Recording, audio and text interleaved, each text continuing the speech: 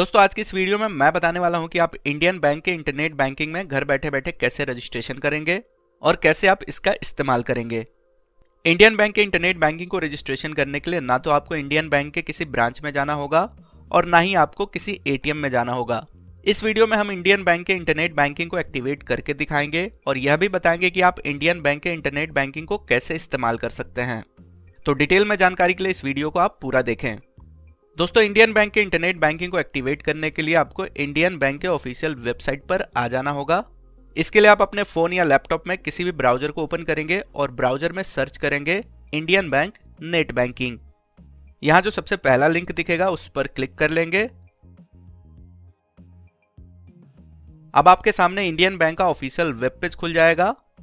यहाँ log in for net banking का option दिखेगा। इस पर क्लिक करेंगे। अब यहाँ पर यूज़र आईडी एंटर करके लॉगिन कर सकते हैं। अगर आप पहली बार इंडियन बैंक के नेट बैंकिंग को एक्टिवेट कर रहे हैं तो इसके लिए सबसे पहले आपको रजिस्टर करना होगा। तो रजिस्ट्रेशन का पूरा प्रोसेस मैं आगे बताने वाला हूँ तो आप इस वीडियो को पूरा देखिए। तो यहाँ पर आपको एक ऑप्शन दिख रहा है न्यू यूज़र का तो इस ऑप्शन पर हम क्लिक करेंगे। अब आपके सामने ऑनलाइन रिक्वेस्ट के लिए यहाँ पर एक नया पेज खुलेगा।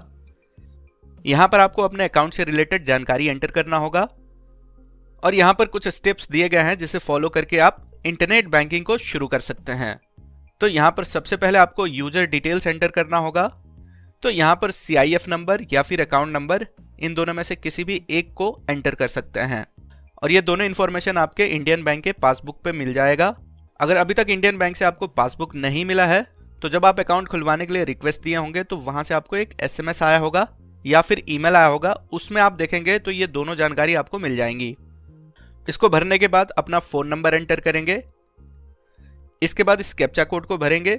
उसके बाद नीचे सबमिट का बटन है, उस पर क्लिक करेंगे। अब आपके फ़ोन नंबर पर इंडियन बैंक की तरफ़ से एक ओटीपी आएगा। उस ओटीपी को यहाँ भर लेंगे। ओटीपी भरने के बाद नीचे सबमिट का बटन है, उस पर क्लिक करेंगे। अगले पेज पर आपको फैसिलिटी टाइप का ऑप्शन दिखेगा। इसमें आपको दो ऑप्शन दिखेंगे। पहला है व्यू फैसिलिटी वनली और दूसरा है व्यू एंड ट्रांजेक्शन फैसिलिटी। अगर आप व्यू फैसिलिटी वनली यानी कि पहला ऑप्शन सेलेक्ट करते हैं तो बस आप बैलेंस और अकाउंट स्टेटमेंट से रिलेटेड सारी जानकारी ले पाएँगे। अगर आप दूसरा ऑप्शन सेलेक्ट करते हैं, जो कि है व्यू एंड ट्रांजेक्शन फैसिलिटी तो इस ऑप्शन को अगर आप सेलेक्ट करते हैं तो आप बैलेंस अकाउंट स्टेटमेंट जैसी जानकारी देखने के साथ साथ आप फंड ट्रांसफ़र भी कर पाएँगे ऑनलाइन पेमेंट जैसे भी काम कर पाएँगे। तो सेकेंड वाले ऑप्शन को आप सेलेक्ट करेंगे, उसके बाद कंफर्म का बटन है, उस पर क्लिक करेंगे। अगले पेज पर लॉगिन पासवर्ड बनाने का ऑप्शन आएगा तो यहाँ आपको लॉगिन पासवर्ड सेट करना होता है। और ये जो पासवर्ड है, आपको अल्फ़ा न्यूमेरिक पासवर्ड सेट करना होगा।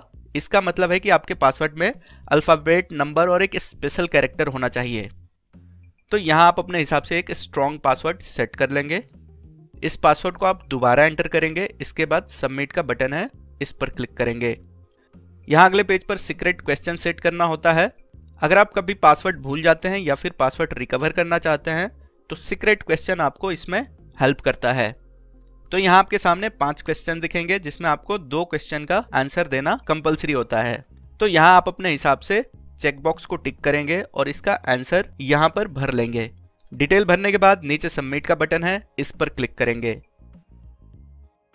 अब यहाँ पर एक्टिवेशन टाइप का पेज आएगा। यहाँ आपको सेलेक्ट करना होगा कि कैसे इंटरनेट बैंकिंग को आप एक्टिवेट करना चाहते हैं। तो दोस्तों, यहाँ पर आपके सामने दो ऑप्शन दिखेंगे। पहला है एक्टिवेट थ्रू ब्रांच और दूसरा है एक्टिवेट थ्रू एटीएम कार्ड तो दोस्तों, यहाँ आप दूसरे ऑप्शन को सेलेक्ट करेंगे क्योंकि हम घर बैठे बैठे इंटरनेट बैंकिंग को एक्टिवेट कर रहे हैं। और इस प्रोसेस से आपको इंटरनेट बैंकिंग एक्टिवेट करने के लिए आपके पास एटीएम का होना ज़रूरी है। अगर आपने एटीएम इश्यू नहीं करवाया है तो आपको इंटरनेट बैंकिंग एक्टिवेट करने के लिए इंडियन बैंक के नियरेस्ट ब्रांच में जाना होगा। वहाँ से आप इंटरनेट बैंकिंग एक्टिवेट करवा सकते हैं। अगर आपके पास एटीएम है तो आप दूसरे ऑप्शन को सेलेक्ट करेंगे, फिर नीचे कंफर्म का बटन है, उस पर क्लिक करेंगे। यहाँ टर्म्स एंड कंडीशन का पेज खुलेगा। यहाँ से इसको थोड़ा नीचे स्क्रॉल करेंगे और यहाँ से इस चेकबॉक्स को टिक करके आई एग्री के बटन पर क्लिक करेंगे।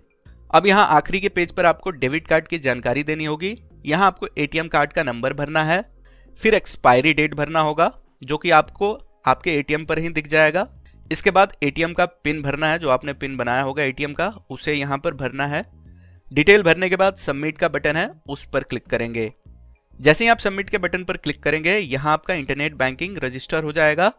यहाँ सक्सेस का एक टिक आ जाएगा, और आपका ऑनलाइन बैंकिंग सक्सेसफुली एक्टिवेट हो जाएगा।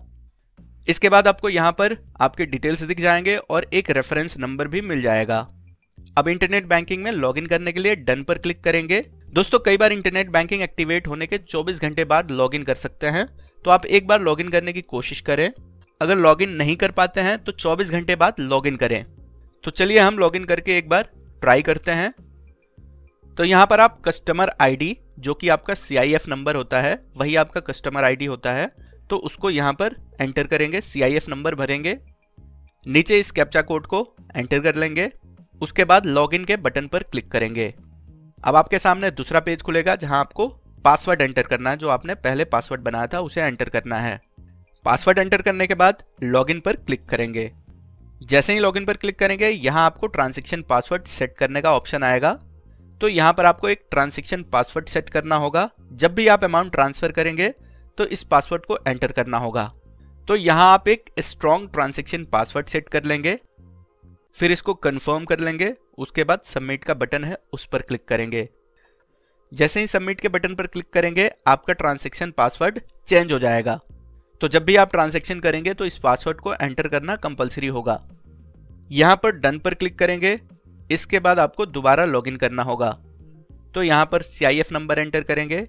इसके बाद इस कैप्चा कोड को भरेंगे। उसके बाद अगले पेज पर अपना पासवर्ड एंटर करेंगे। और लॉगिन पर क्लिक करेंगे।